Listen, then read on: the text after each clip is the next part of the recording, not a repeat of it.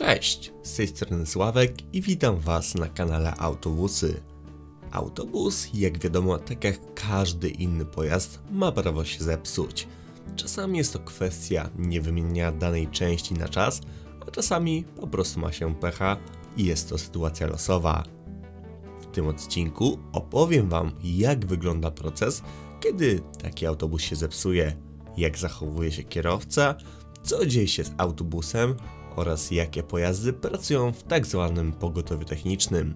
Będzie bardzo ciekawie, tak więc zapraszam do oglądania. Partnerem dzisiejszego odcinka jest prawdopodobnie największy sklep z gadżetami z branży motoryzacyjnej giftmash.pl. Aktualnie w ich ofercie znajduje się blisko 150 pojazdów. Oferta cały czas się poszerza. Na sklepie znajdziecie Wasze ulubione pojazdy w wielu konfiguracjach, od plakatów, przez ściereczkę do okularów, aż po puzzle, czy nawet zegar. Do wyboru, do koloru. Nieważne, czy jesteś pasjonatem motorów, samochodów czy autobusów, z pewnością znajdziesz coś dla siebie lub dla bliskiej Ci osoby. Specjalnie dla widzów kanału Autobusy zostało przygotowanych 20 kodów rabatowych, które znajdziecie w opisie. Dają one Wam aż 15% zniżki na cały koszyk. Ich liczba jest ograniczona, tak więc musicie się pospieszyć. Ponadto, jeżeli chcecie zakupić autobus w konkretnym malowaniu, strona takie malowanie może dla Was wykonać, jeżeli zgłosicie taką chęć. A zanim przejdziemy do odcinka, napiszcie w komentarzu proszę, czy zdarzyło się Wam kiedykolwiek jechać autobusem, który uległ awarii. Zacznijmy od samego początku. Mówimy o sytuacji, kiedy autobus ulegnie awarii w ruchu liniowym. Jak wygląda procedura wykonywana przez kierowcę? W takim przypadku kierowca zgłasza problem przez radiotelefon do centrali ruchu, że wystąpiła konkretna awaria, krótko ją opisując. Dyspozytor wysyła wtedy na to miejsce pogotowie techniczne. Jednak zanim przejdziemy do omówienia pogotowia technicznego, warto jest dodać, że kierowca stara się udrożnić ruch w tym czasie, aby w miarę możliwości autobus po prostu nie blokował ruchu samochodowego. Co w tym czasie dzieje się z pasażerami? Niestety pasażerowie muszą opuścić autobus i czekają na następny. Lub, jeżeli jest taka możliwość, przyjeżdża autobus rezerwa awaryjny i podmienia ten zepsuty autobus do czasu usunięcia usterki przez pogotowie techniczne lub do wymiany po prostu na sprawny autobus. Jeżeli chodzi o bilet przejazdu, w przypadku kontroli pasażer musi podać szczegóły odnośnie zakończonego przejazdu i bez problemu może kontynuować podróż na tym samym bilecie, mimo innego numeru bocznego autobusu.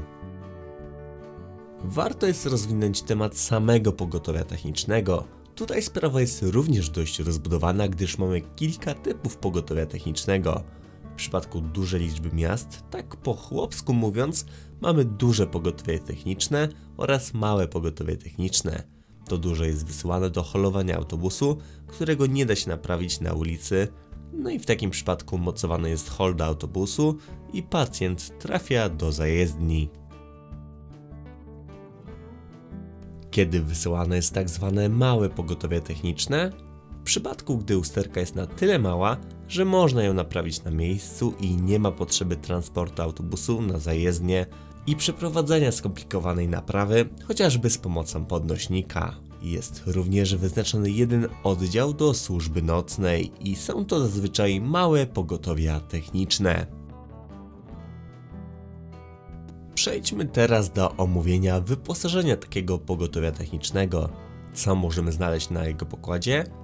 Jest to dosłownie mały jeżdżący warsztat. Znajdziemy tam koła zapasowe z małą windą czy żurawiem, wąż z powietrzem, podnośniki, aby móc zmienić opony w autobusie, czy chociażby pompkę do opon i cały zestaw narzędzi podręcznych. A jakie konkretne pojazdy jeżdżą w roli pogotowia technicznego? Zacznijmy od tego, że kiedyś tak naprawdę nie było dedykowanych pojazdów pod tę rolę. Zajezdnie przerabiały wyeksploatowane już autobusy w rolę pogotowia technicznego. Jednak jednym z pierwszych autobusów, który był bardziej przeznaczony do pełnienia tej właśnie funkcji, był Jelcz PR-06. Był on przerabiany i dzięki temu na jego tylnej osi znaleźć mogliśmy wyciąg.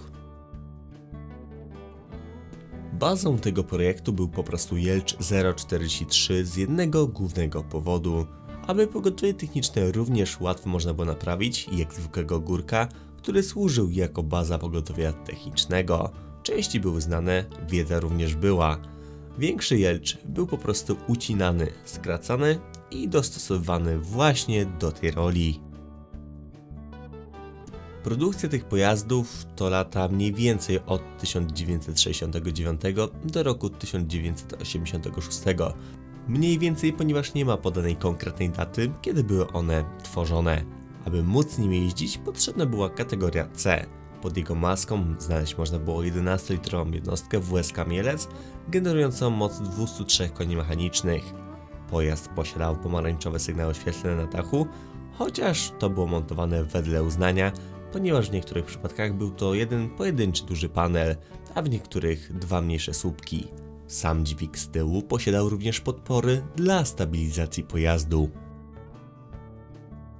Można było zaobserwować dwie wersje tego pojazdu. Jedna była krótsza, a druga posiadała również drzwi pasażerskie, co pozwalało na więcej miejsca w środku, chociażby na narzędzia i swobodę pracy mechanika. Niektóre modele miały również stosowane oznaczenie na samym lakierze. Pojazdy te jednak nie służyły tylko i wyłącznie do pracy przy autobusach, ale i również do pomocy technicznej w przypadku awarii cięższych pojazdów, takich jak ciężarówki. Kolejną ciekawą konstrukcją pogotowia technicznego jest również Ikarus, którego całkiem sporo mogliśmy spotkać w naszym kraju, a i nadal są zajezdnie, na których dzielnie pracuje. Spotkać można było Ikarusa przerobionego po prostu z 260 lub 280, bez rolety z tyłu lub wersja z roletą z tyłu. W samym autobusie jest naprawdę sporo miejsca do przechowania różnego rodzaju narzędzi. W tym miejscu można dodać, że każdy taki autobus pogotowia technicznego zarejestrowany był jako pojazd specjalny. Nie z tego względu, że był on specjalny, ale dlatego, że wtedy były mniejsze opłaty z nim związane. Był on zarejestrowany na 7 osób zazwyczaj.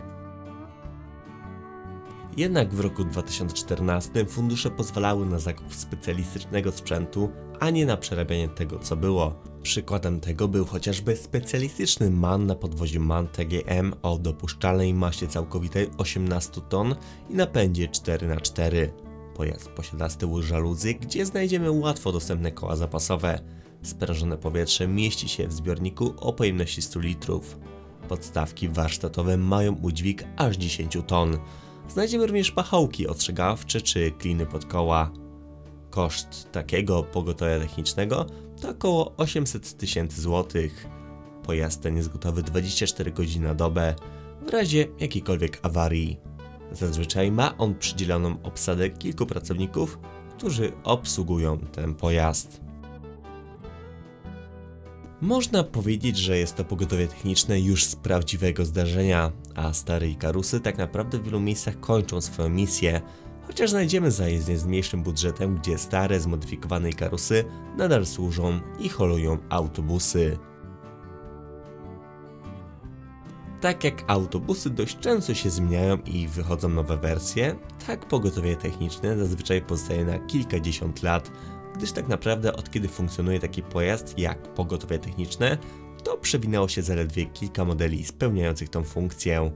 Nie można oczywiście zapomnieć o małych pogotowiach technicznych, a w takiej roli znajdują się zwykłe pojazdy osobowe, takie jak Peugeot Boxer czy chociażby Fiat dostawczy. Jeżeli dotrwaliście do tego momentu, pozostawcie po sobie komentarz pogotowie techniczne. A ja dziękuję Wam za uwagę i do następnego. Cześć!